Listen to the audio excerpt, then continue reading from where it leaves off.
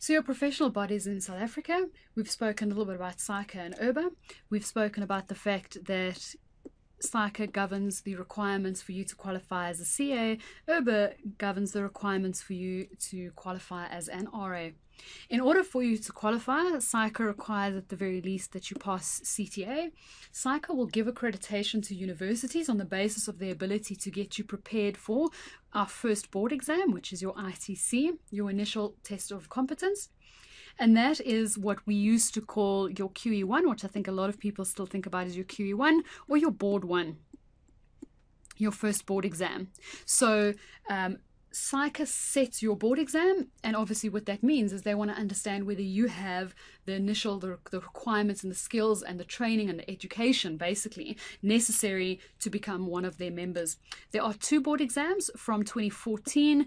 Our second board exam will be the APC the assessment of professional competence. And again, this is what us as auditors used to write as PPE, your um, your public practice exam. And again, we used to call that, or most people refer to that as Board 2. So, in order to qualify as a CA, you need your, your CTA, your Certificate in the Theory of Accounting, which is done at a university at honours level. You need your ITC, you need your APC. And once you have passed these, as well as a three year contract, as well as your three year training period, once you have signed those off, see SAICA will allow you to register as a CA. At the moment, IRBA says we believe that SAICA's criteria for you to pass and to become a CA is good enough for us. Therefore, if you are a CA, you are allowed to become and you are allowed to register as an RA as well. So IRBA says they base their education on what SAICA bases the education on. So IRBA believes that SAICA sets you up and provides you with the training and the academics necessary for you to qualify as a registered auditor.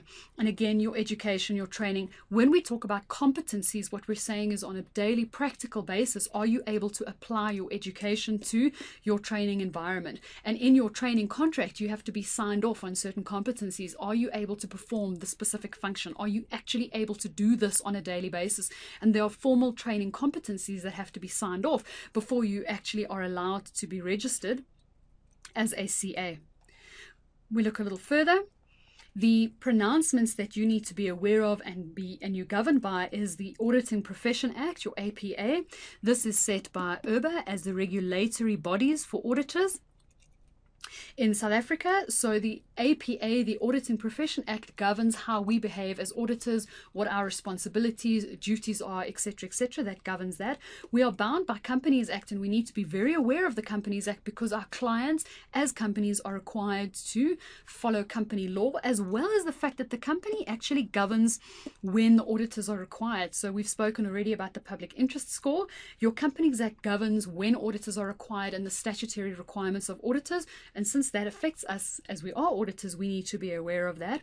We need to be aware of any bylaws and requirements the constitution of SAICA, since we will be CAs as well. We need to be aware of any bylaws that SAICA gives us.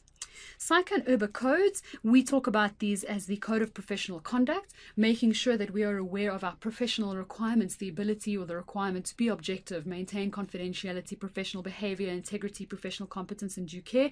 We've got to make sure that we provide and we apply these professional skills in our daily lives because this is what the users trust. This is what they base their reliance on us on. Your international standards on auditing, we talk mostly about your ISAs. Your, your independent or your international standards on auditing are the guidelines that we follow in South Africa in terms of our audit.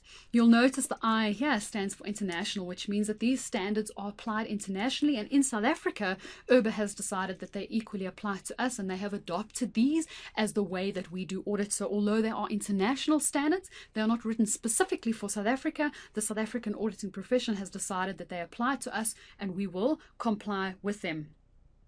If our clients are listed, we also need to be aware of the JSE listing requirements. So, as an auditor, we need to make sure that we are aware of everything that our profession requires us. And if there's any laws and regulations that impact how we do our job or how we should be behaving, we're going to have to be aware of that.